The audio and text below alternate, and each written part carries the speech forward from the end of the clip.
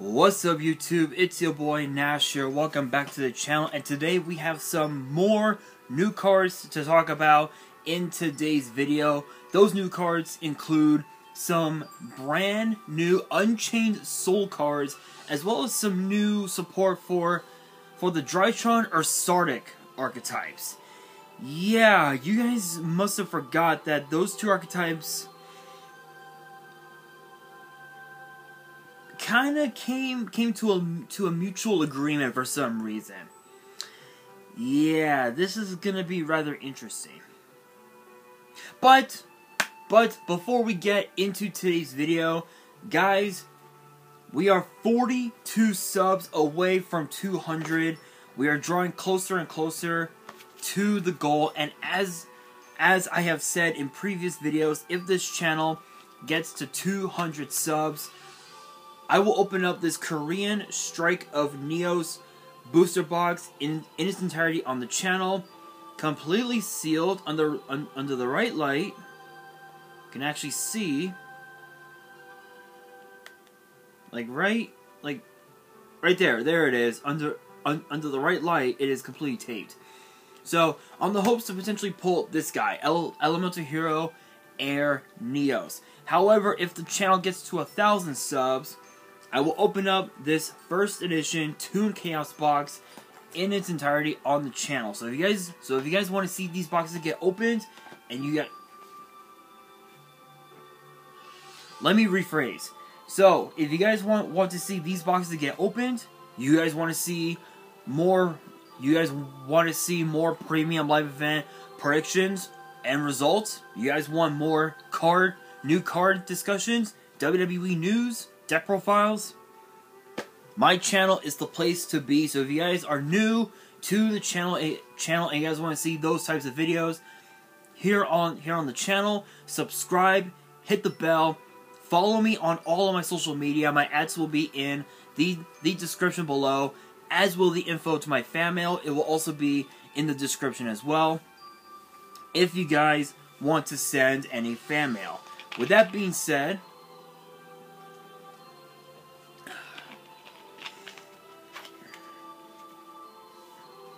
Shoutouts to Brisk. Oh, by the way, yeah. Shoutouts to Brisk for the for the regular lemonade, best lemonade of all time. Don't at me in the comments. That and and the pink lemonade.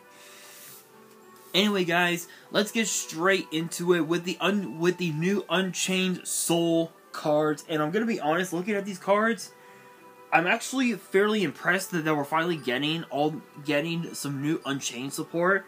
We didn't get get that much support over, over over the last several years, but but I'm actually I'm, I'm actually excited for it because Unchained didn't I don't think we saw the deck become competitively meta.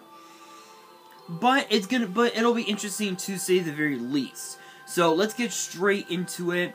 Kicking things off, there's a note under there there's a note on top that says that says that says as a note the the TCG naming scheme for these cards means the proper nouns are likely going to be removed and we get something like Crimson Unchained Soul and Azure Unchained Soul. The likely intention to avoid offending highly conservative members of the Hindi faith living in Western nations. Oh. Oh, okay. Okay, so big shoutouts big shoutouts to to um to all of my Hindi fans out there who watch who watch my videos. Shout outs to you guys. This is gonna be interesting. Um, this will be in this will be interesting, guys. So let's get started. Kicking things off, we have Unchained Soul, Sharvara. I believe how it's pronounced. I probably I probably butchered it. I, I apologize. But but but it's a six star fire fiend with 2,000 attack, 1,500 defense, both of its effects are once per turn, and the first effect reads, During the main phase, if this card is in your hands as a quick effect, you can target one fiend monster or set or or one set card you control, destroy it, and if you do special summon this card, and if you do that, you cannot special summon monsters while it is face up on the field, while it's face up in, in the monster zone, excuse me, excuse me, except for fiend monster. So this is essentially a this is essentially a cyber dragon, and what's cool about this is that is that is that you can target any any monster, any fiend monster that they have at, have on board, send it to your to your graveyard, trigger off its effect if it ha- if it has any effects in, in the grave, go into go into into another body and, and, and you can just and you can just just just combo off from there and then just link off the monsters into an unchained un, unchained abomination which in which abomination is a board wipe which is pretty cool. That's actually pretty pretty, pretty cool. Uh, the second effect reads if if this card is sent to to to the graveyard you can set one unchained spell or trap directly from your deck. Alright, I mean that's pretty good. I mean being able to just to to set to set to set and and you spell a trap to your back row, that's pretty good. It could be literally it could be anything. It could even be a floodgate for all we know. That's pretty cool. There's a note underneath that says this is Sharvara, one of the two hounds hounds that that serve King Yama, god of the underworld in Hindu and Buddhist beliefs. Okay. All right. Nice little, a nice little, uh, a nice, nice little history lesson, I guess you could say. That's pretty cool. Uh, next up, we have Unchained Soul Shayama, which is a six-star water fiend with with 2,000 attack, 1,500 defense. I believe it's the same. Yeah. and and both of its effects are are once per turn. Uh, the first effect reads reads, you can target one card you control, destroy it, then you can destroy a spell trap on the field. I mean, it does. I, I mean, it's basically a it's basically a one for one, which isn't which is not too bad, but it does it does force you to lose tempo, which is a bit which is a bit of a downfall. But but as but as long as you're able to combo off and and go in and go go into your board, you're you pretty much you pretty much have have, have game right there, which is pretty cool. Um. Uh, the second effect reads: If this card is, is in your grave, you can target one fiend monster or one set card you control, destroy it, and if you do, special summon this card, but place it on the bottom of the deck when it leaves the field. It is, it is, it, it is a great way to to bring to put it back back into your deck, but for but for the most part, you're gonna end up using using both Shayama and um and uh, Sharvara to go into a rank six for for for the most part, um, which is probably what you want to do the most. I think like I think some of the best rank six that that, that you can go into are uh, Pilgrim Reaper, and I want to say Beatrice, Lady of the Eternal, but I think Beatrice is.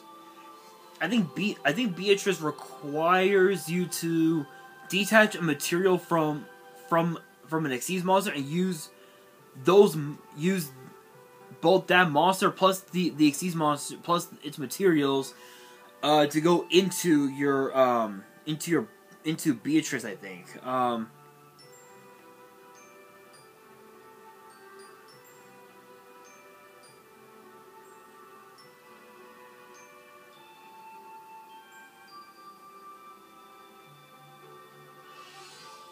Sorry guys, S sorry guys. I just I'm on I'm I'm on YouTube right now, and apparently uh, apparently uh, what uh, WhatCulture is is interviewing uh, WWE superstar Xavier Woods. So I I I I apologize. Big shoutouts to to to to WhatCulture not sponsored.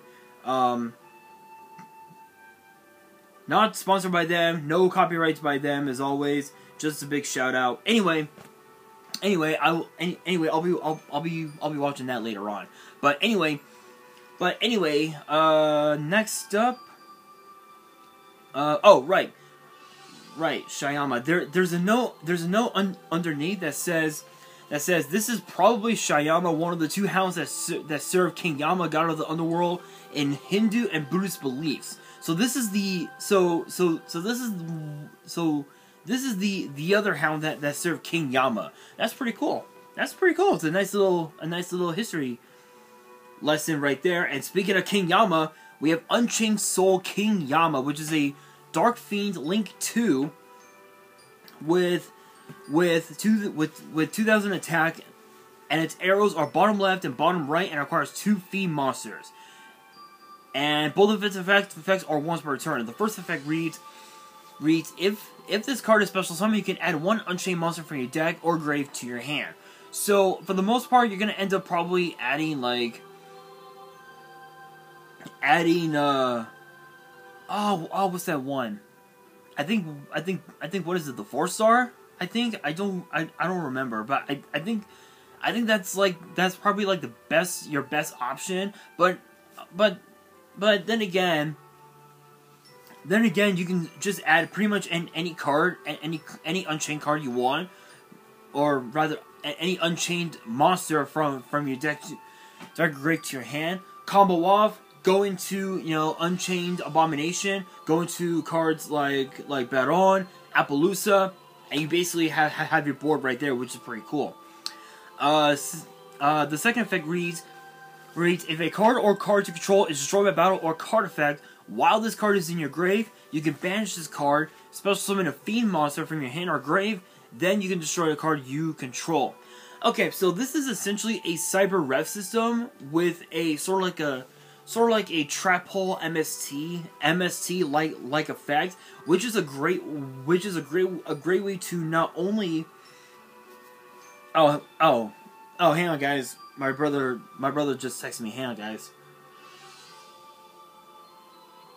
Give me one second.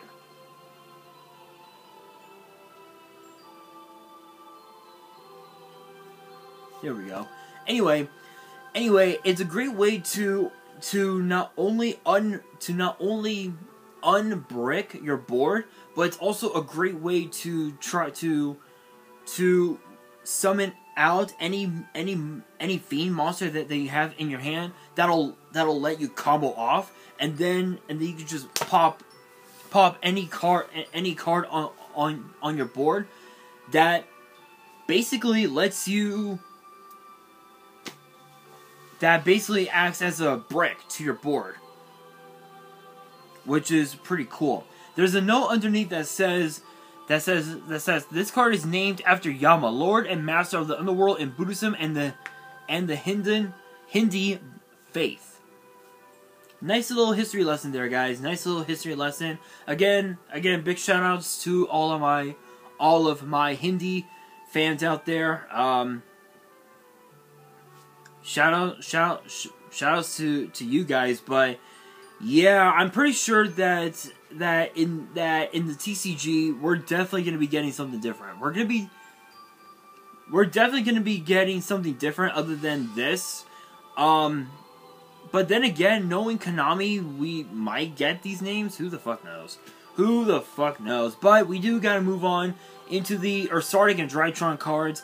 And I'm gonna be honest. Um, there's there's only two cards to talk about in this video, unfortunately, but I'm but I'm actually excited because because these two cards I think are are the exact cards that that that the deck that that the Drytron deck needed to become full power because because even though even though we did because even though Cyber Angel Benten I think now is back up at three, the deck is still is, is still playable. But the problem, but the problem is that there are so many outs to the Drytron deck. It's pretty bad. It's pretty. It's it's become not a bad deck, but more of a less competitive deck, I'll say. And um, these two cards might be might just be the ones that could potentially help make make the deck meta. So we kick things off with with Ultimate Knight Alpha Alpha Ursatron, which is a which is a which is which is a seven star water machine with two with two thousand attack, seven hundred defense, and says that this card is always treated as an Ursardic and Drytron card. and the effect and the effect is a once per turn. But but it says that it cannot be normal summoner said must be special summoned by a card effect.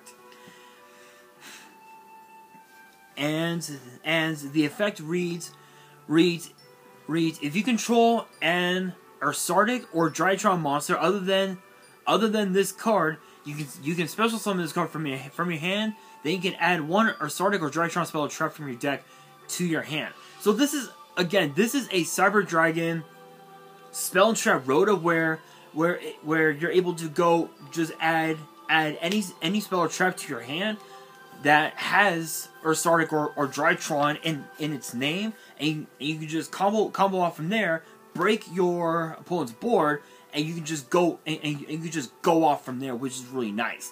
This is exactly what I was talking about with with the fact that there are so many outs to to to the to the to the Benten to pretty, to literally literally all of the Cyber Angels that are that are potentially in the in the Drytron deck. This this is one this is this card a card like this is what the deck needed for the most part. Now, we have another level 1 Synchro monster. This is probably the dumbest thing I've ever seen, but this is exactly what what the deck truly needed was these two cards right here, including this one, which is known as Ursardic Polar Star, which is a which is a one-star water machine synchro with the reverse attack and defense of of Alpha Ur Ursatron. Instead of it being 2,000 attack and 700 defense, it's 700 attack and 2,000 defense. And it says that, that it cannot that it cannot be synchro summoned. It must be special summoned from your extra deck by sending two monsters monsters you control with a level difference of one to the graveyard. So it's so it would be a tuner and a non-tuner. So in this case, it would be what? What? Like what? A four-star tuner plus a five-star non-tuner, maybe?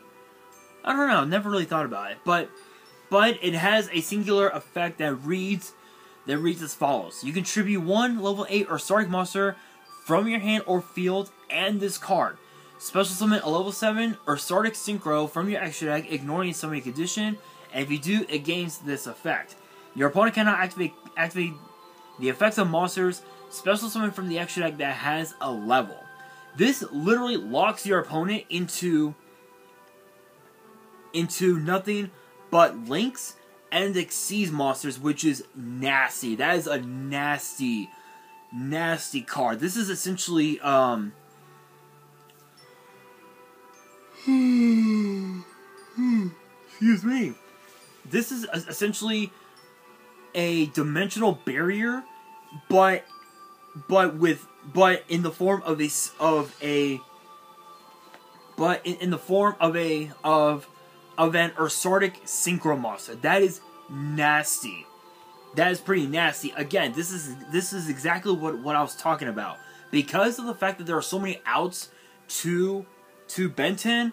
cards like uh, Saber, Saber, Cyber Angel Natasha, uh, Cyber Angel Idaten, Cyber Angel Dakini, which are which are which are some of the main components for for a Drytron deck. This is exactly what what what the deck needed to become a top not not a top tier deck, but more of a tier more of a tier more of a tier two deck, if you will. Creep you know you know you know creep its way back up into the competitive scene. This is exactly what what the deck needed. But honestly, guys, looking at, at these cards, this will be interesting to say the very least. But that brings me that brings me to the question of the day, which is this: What are your guys' thoughts on the new on the new Ursardic slash, slash Drytron cards? And will the Drytron deck become meta once again? Let me know down in the comments below, and that will do it for today's video. Hopefully you guys enjoyed. If you did, make sure you guys smash that thumbs up button. If you guys are new to the channel and you guys want more, more new card discussions in the future, which get posted on Tuesday and sometimes on Wednesdays and weekends, make sure you guys subscribe to the channel, turn on the turn on the notification bell, follow me Follow me on all of my social media. My ads will be in the description below, as will the info to my fan mail. It, it will also be in the description as well if you guys want to send any fan mail. And on that, this is your boy Nash signing out.